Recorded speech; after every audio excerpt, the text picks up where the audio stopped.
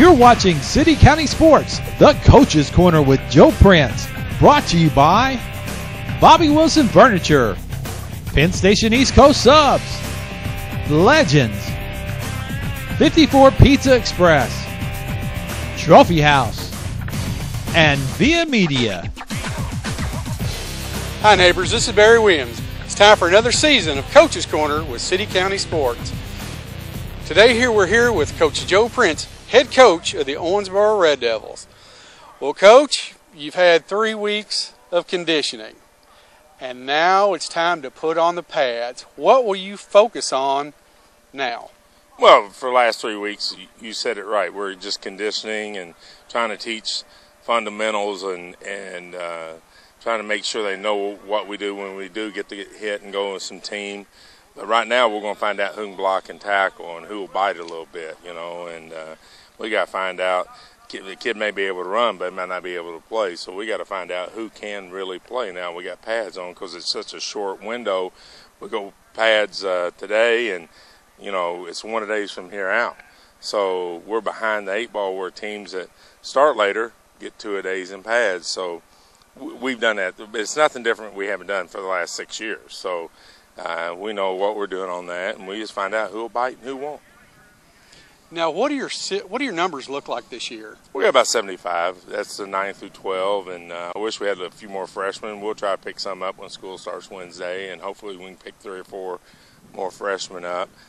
Uh, but numbers are pretty good this year. We got a large senior class, and I can't tell you the exact number. I want to say it's 17, but don't hold me. It might be 16, might be 18. So uh, but anyway, the numbers are pretty good this year. I know it's early, but what do you? What's this team looking like? What can we expect out of the Red Devils this year? Well, on paper, you look at it and say we could be pretty good this year. We've got all our skill guys coming back. Primarily, we lost uh, uh, Logan Blue, who walked on at UK, and then we lost uh, Christian Woods, who's going to K State, and uh, two other defensive linemen and uh, Theron Keller and uh, Ramil. Uh, can't think of Ramil's last name right now. Jacoby's brother. But anyway, uh, we lost Ramil and and Theron. So we lost our D line. We we've been looking at. We think that we're all right there. Now our O line, we got a couple people. If they get ruled eligible by the KHSAA, which they should, uh, looks like they could help us a little bit we think we could be good, but it's all on paper. You won't know until we get on the field and find out. Okay. Well, who are some of the key returnees for this year? Well, obviously Nick Locker is the key. He'll be a three-year starter quarterback and our punter, and has done an exceptional job the first two years. So we expect him to play at a high level. And then uh, uh, Ramin uh, Lindsay at linebacker and fullback, we expect a lot out of him.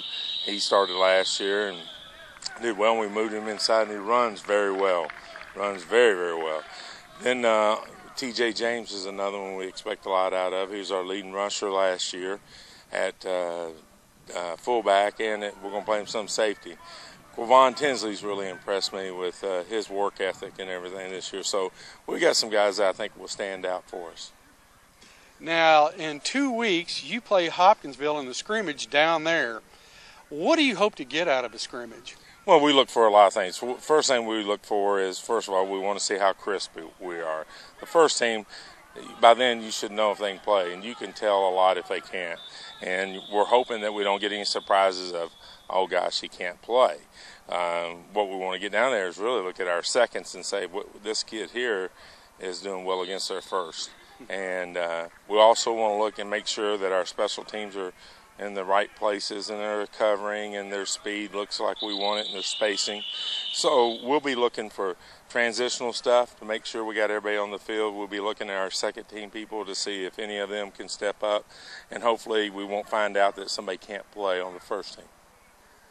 Well, coach, is there anything else you'd like to talk about? Well, I'd like to tell people if they look down the end zone, we got a new, uh, we're putting in bleachers down there for our student body, so that opens up some more uh, student body and band. That opens up some more season tickets for us on our home side, and and I think that'll be a nice plus. If people want to get those tickets, you can call Mr. Gaddis at 686-1084 and get your season tickets. Uh, and then we also have uh, parking passes out out uh, in front that uh, is good for 15 minutes after game time starts. Uh, you can come in and have a reserved parking spot, and Coach Jason Harrison is a person for that. But you can ask Mr. Gaston; he'll tell you how to get a hold of, of them, and that's 686-1084. Well, there we go, folks.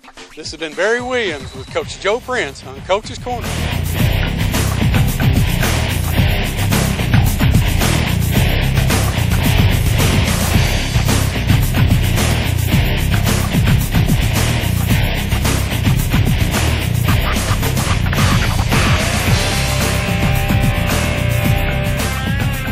You've been watching City County Sports, the Coach's Corner with Joe Prince, brought to you by Bobby Wilson Furniture, Penn Station East Coast Subs, Legends, 54 Pizza Express, Trophy House, and Via Media. If you would like to be a sponsor of the Coach's Corner and show your school colors, call Rod at 270 683 1094.